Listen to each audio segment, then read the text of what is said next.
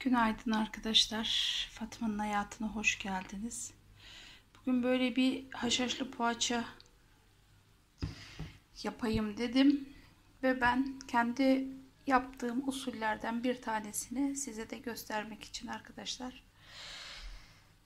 işin başına geçtim.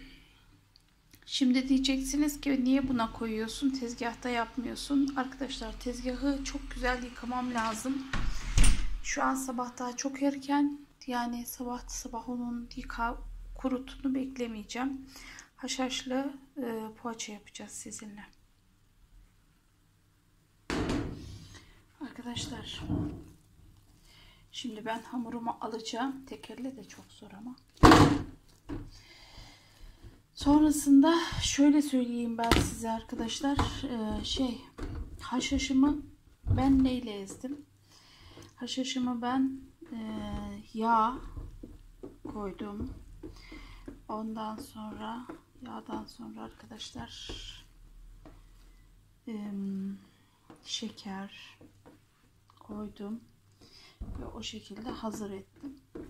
Şimdi ben şunu böyle çarşaf böreği gibi bir açayım arkadaşlar. Ondan sonra ben size göstereceğim.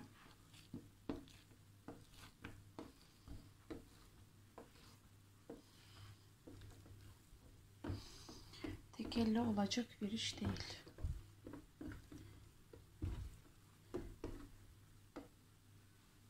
Bakın şu orta kısım kalın kaldı. Şimdi ben şöyle kamerayı bıraktıktan sonra şöyle alttan toplayıp hepsini çekeceğim tamam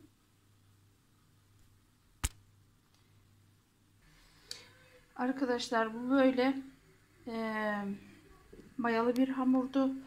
Mayalı hamur olduğu için tekrar mayasının gelmesini bekliyoruz. Çarşaf böreği gibi açtı. Fakat mayalı bir hamur. İçeriden de eşim kızımı seviyor. Sesler geliyor. Böyle bunun mayası gelsin. Ben şimdi kek çırpacağım. Arkadaşlar şu şekilde dedim bir kakaolu kek yapayım. Keki de ben yarı yarıya kakao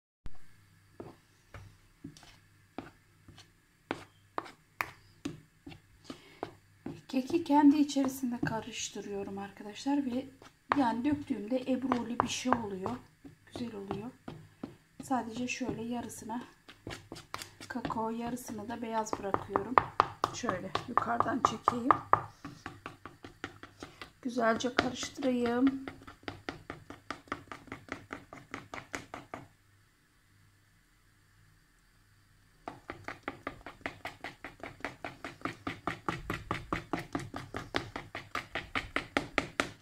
Bunu küçükken çok yapardım. O kadar çok severlerdi ki büyüdükten sonra maalesef yani keki çok sevmez oldular. Bugün yine de dedim bir yapayım bunu yapayım. Bunun e, mayası gelsin o esnada kek pişerken. İşte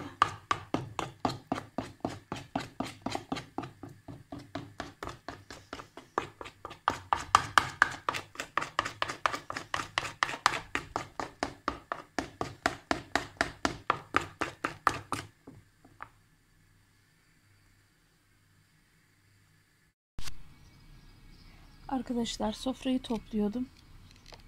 Sofrayı toplarken şöyle sukulentlerimin başına geldim. Ve arkadaşlar şuradaki bebeklerimin kesinlikle güneş görmesi gerektiğine karar verdim. Bakın. Şuradaki bebeklerin güneş görmesi gerekiyor. Bunun için de benim yatıracak yer olmamasına rağmen arkadaşlar şu yaprakları almam gerekiyor. İnanın yatıracak yer kalmadı artık. Bu kalsın. Bir de şu arkadaşlar. Bir de şu. Bakın şuradan 1 2 3 4 tane şöyle kelle çıkıyor. Ee, ve benim bunun yapraklarını biraz böyle hafifletmem gerekiyor ama daha öncesinde ben şöyle size göstereyim arkadaşlar. Şuraya yaprak aldım. Bakın. Şöyle bunun e, gidişatına bakacağım. Çürüme falan olacak mı? Yoksa benimle böyle yola devam edecek gibi mi gözüküyor? Ona göre arkadaşlar yaprak almaya devam edeceğim. Bakın şurada bir sürü yaprak aldım. Ve bunlar şimdilik böyle dursunlar. Benim pazartesi gün bir kargom daha var. O kargodan sonra birazcık yer açılırsa sizinle yaprak yatırmaya başlayacağız. Benim e, bu yaz için bazı planlarım var. Şöyle memlekete gitmeden önce ciddi yaprak yatırma gibi planlarım var ve böyle biriktirmeye başladım. Bu tabakta da olmadı arkadaşlar. Şunu değiştirelim sizinle. Şimdi arkadaşlar bunları biliyorsunuz. Ben dün videoda kombi dolabına koydum. Kombi dolabına öylesine geçici koydum arkadaşlar. Ee, yani burada yer olmadığı için geçici olarak koydum. Şimdi arkadaşlar şöyle yaprak alırken unutmayın. Sağlıklı olanları, iri olanları seçerseniz eğer iki kere hatta böyle çift başlı e, şeyler elde edersiniz. E, çift başlı sukulentler elde edersiniz. Yaprağınızın sağlığı çok önemli. Şimdi bakın arkadaşlar şundan olacak mı bilmiyorum. Hiçbir fikrim yok. Ama yani ben şu göbeğini alarak böyle bir karar verdim. Şurayı da sabahtan tarçınladım. Mantar olmasın diye hemen tarçınlamamıştım. Ee, sanki şurada bir karartı gördüm arkadaşlar şu yaprakta. Bir karartı gördüm gibi oldu. Ve tarçın döktüm. Onu alsam mı bilemedim. Şöyle arkadaşlar bunu böylece alayım ben. Yani yavrusu da geldi. Yapacak hiçbir şey yok. Çünkü bakın şurada bir karartı var. O bitkinin tamamen çürümesine sebep olabilir. O yüzden riske atmayacağım. Orayı aldım arkadaşlar ve e, şöyle alt kısımlarını biraz hafifletmek lazım. Böyle arkadaşlar. Şimdi benim bir tane diş fırçam vardı. Evet. Şunun toprağını biraz şöyle dağıtmak istiyorum arkadaşlar. Dibinden uzaklaştırmak istiyorum. İnanın bütün çiçeklerinize böyle tek tek tek uğraşmazsanız olmuyor arkadaşlar. Allah göstermesin kaybedersiniz. Bakın.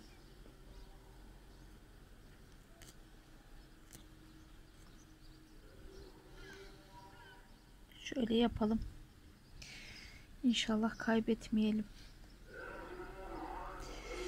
Tabii ben video çekiyorum ya hurdacı kardeş de hemen böyle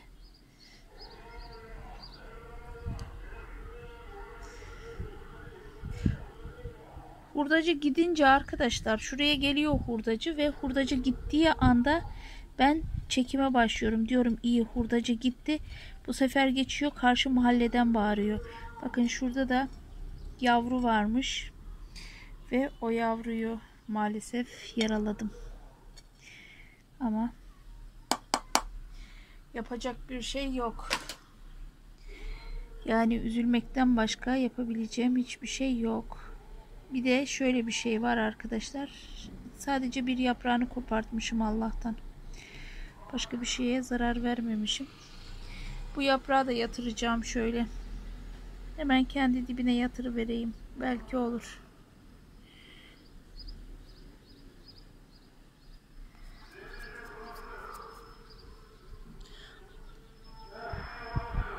Bakın bu hurdacı buraya geldi arkadaşlar. Ondan sonra ben o geldi diye kapattım. Döndü dolaştı bir daha geldi. O da ekmek parasının peşinde ne yapsın? Arkadaşlar şu şekilde çok güzel oldu. O kadar lezzetli oldu ki anlatamam. Şekli bakın şeklen böyle oldu fakat o kadar harika oldu ki onu anlatamam. Lezzeti çok güzel ve kekim de böyle oldu arkadaşlar. Çocuklar keki kesip yememişler. Onlar kahvaltıyı bizden sonra yapmışlardı. Size tabi bu arada bir sürpriz göstereceğim. Sürprizimiz ne? Şimdi arkadaşlar bakın. Perlenin böyle bütün yapraklarını aldım. Bu Fred West denilen arkadaşın da bütün yapraklarını aldım. Buradaki benim kalp kalbe karşının da bütün yapraklarını aldım. Çünkü arkadaşlar altlarından bebekler büyüyor. Ve bebekler ee, yani bebekler büyümüyor. Yapraktan da üretim için daha erken saksılarda yerim yok. Ha bir de bu arkadaşın bütün yapraklarını aldım. Şu kırmızı Graptom'un bütün yapraklarını aldım. Ve şu türden arkadaşlar benim diğer camımda vardı. O satılık değil anaç olan. Çünkü satılık olanların yapraklarını almıyorum. Sadece anaç olanların yapraklarını alıyorum. Ee, bu her zaman aklınızda olsun arkadaşlar. Yani anaç olan bir tane bitkiniz olsun ve onun yapraklarını alın. Arkadaşlar şöyle bakın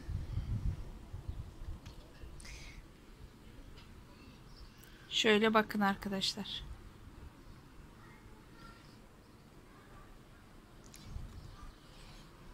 Bakın. Ha bunun da aldım bütün yapraklarını. Bakın.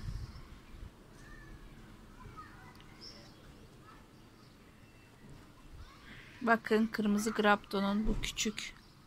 Ne kadar büyük olursa olsun küçük. Ve bakın kalpli yapraklı. Büyüklüğüne bakar mısınız? Kocaman. Şimdi arkadaşlar bunları böyle bekleteceğim. Biraz şu saksılarım azaldığı zaman saksılarımı e, yazın işte ben memlekete gitmeden önce oturacağım bir gün sabahtan akşama kadar değiştirebildiğim saksıları değiştireceğim arkadaşlar. Ee, yani biraz böyle e, kenara alınması gerekenleri bir de e, kimisinde örneğin dedim ya size arkadaşlar şunda e, tamamen kompost bitti. Şunda da tamamen kompost bitti. Bunları yani kompostlarını tekrar altlarına koyacağım. Ve kışa kadar arkadaşlar bir boy daha sukulent büyütürüz.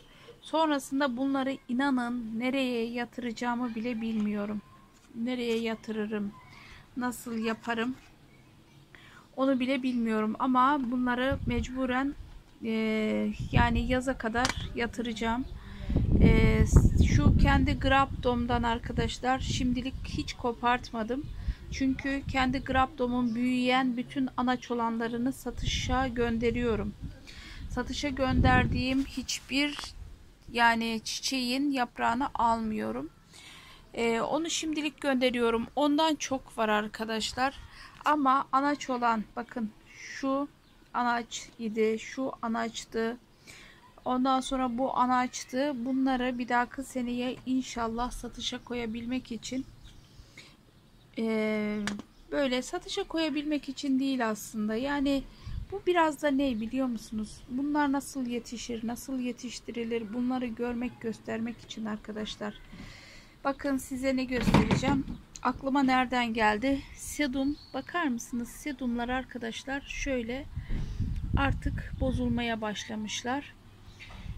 Bakın şuradan işte yapraklar düşüyor falan. Dedim ki ya bunları dedim ben tamamen toplayayım şöyle ve bunları ben yeniden dedim bebek yatırayım.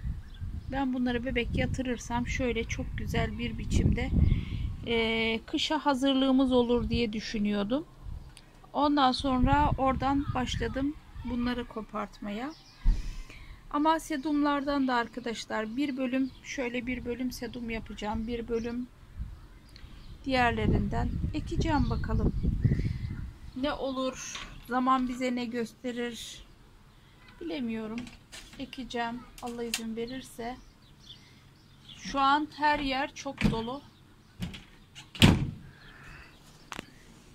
Şu an e, diğer camlarımda çok fazla diğer camlarımdaki hiçbir türden yaprak kopartmadım. Bakın arkadaşlar şundan da yaprak koparttım. Bu arkadaştan da yaprak koparttım. Bunları niye sizinle yapmadım? Bakın çok güzel çiçekleri var bunun. Ee, bunu arkadaşlar aslında sizinle yapmak istiyordum. Tam videoyu açtım. O esnada öğrencim aradı. Öğrencimle işte hem cuma için böyle cuman mübarek olsun diye aramış. Hem de konuşuruz hocamla demiş. Öğrencimle biraz konuştuk. Ondan sonra kız kardeşim aradı. Hadi o esnada ben kız kardeşimle konuşurken bütün yaprakları kopartmış oldum. Sonrasında ablam aradı. Sonra dedim hadi ablamla da konuşayım. Kapatmayayım dedim. Ondan sonra arkadaşlar bizim iş uzadı ve ben bir tepsi dolusu yaprak aldım. Bunlar Rabbimin nimetleri. Rabbimin nimetlerine şükürler olsun arkadaşlar. Rabbimin nimetlerine sonsuz sonsuz şükürler olsun. Şimdi şu anda e, benim bunlardan isteyenler var arkadaşlar. Bütün türlerden isteyenler var. Onların ekimini, dikimini, her şeyini gerçekleştirdikten sonra, gönderdikten sonra Allah izin verirse pazartesi gün e, sonrasında tekrar bekleyeceğim ve Haziran'ın ortalarında arkadaşlar saksılarımı tazeleme e, videoları çekeceğim. Bir de şöyle yapmayı düşünüyorum. Erzincan'a gittiğim zaman e, tabii ki günlük vlog Fatma'nın hayatına çekeceğim. Ama Sukulent kanalına stok video kullanacağım arkadaşlar. Stok video ne demek? Biraz da sizinle kopartayım. Stok video demek arkadaşlar. Videoyu önceden çekiyorsunuz. Gizliye alıyorsunuz. Ve e, zamanı geldiğinde açıyorsunuz. Bu demek oluyor. Sukulent kanalında bitki bakımı ile alakalı stok video kullanabilirim arkadaşlar. Çünkü Erzincan'da biliyorsunuz bakmak için böyle e, nedir diye bakmak için bile sukulent yok. Çarşıda, pazarda hiçbir yerde satılmıyor. Öyle bir şansınız yok orada. Geçen sene bir dedim götürsem dedim arkadaşlar. Öyle de götürmedim sonrasında. Bakın. Bunların inşallah hepsini ayrı ayrı tür olarak tanırım. Hiç sanmıyorum tanıyacağımı. Ancak büyüdükleri zaman bilebilirim arkadaşlar. Şöyle. Bakın. Ama e, yani anaç olarak benim anaç olan bitkilerimden bunları alıyorum. Ve bir taneden alıyorum arkadaşlar. Benim mesela bu anaç olan bitkim. Bunu anaç yaptım. Ondan sonra bunu anaç yaptım. Tabii ki bunun yavrularını satacağım arkadaşlar. Ama bunu anaç yaptım. Bu anaçım benim. Ona, onun yavrusu mesela şurada var. Onun yavrusu burada var. Bakın. Onun yavrusu burada var. Ama benim anaç bir tane ee, ve ondan koparttıklarım arkadaşlar yeterli geliyor mu? Gayet de yeterli geliyor. Gayet de güzel. Ve bitkilerimiz şöyle sıkışık olmuyor. Keşke yerlerimiz olsa da geniş geniş yaprak yatırsak.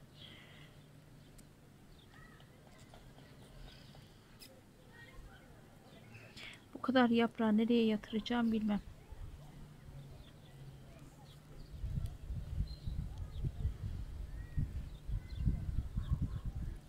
Arkadaşlar öbürlerini kışın yaprağa yatırdım. Kışın çok zor oldu. Kışın niye zor oldu biliyor musunuz? Ee, çok fazla bitlenme olayı oldu. Çürüme olayı oldu. İşte bakın. Bu tür şeyler geçen sene çok zorluklarını yaşadım ben bunların.